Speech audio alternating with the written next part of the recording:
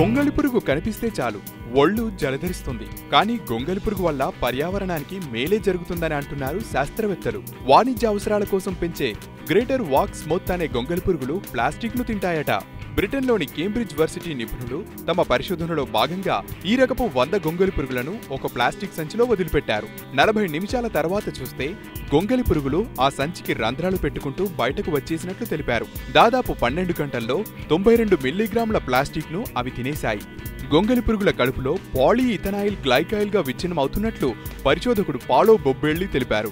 గొంగలి పురుగుల శరీర నిర్మాణం వాటి కడుపులోని బ్యాక్టీరియా లేదా లాలాజల గ్రంథులే దీనికి కారణమని ఆయన వెల్లడించారు. మొత్తానికైతే ఈ పురుగుల వల్ల డంపింగ్ యార్డ్లు సముద్రాల్లో పెరిగిపోయిన ప్లాస్టిక్ వ్యర్థాలకు చెక్ పెట్టవచ్చు.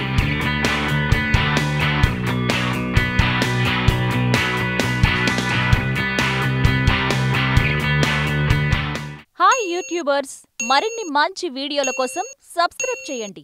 దాంతోపాటే బెల్ ఐకాన్ పై క్లిక్ చేయండి.